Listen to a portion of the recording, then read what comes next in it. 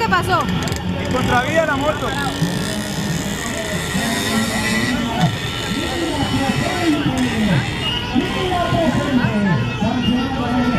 Paré esperando que no viniera nada de allá. Cuando iba a arrancar, no venía nada de allá.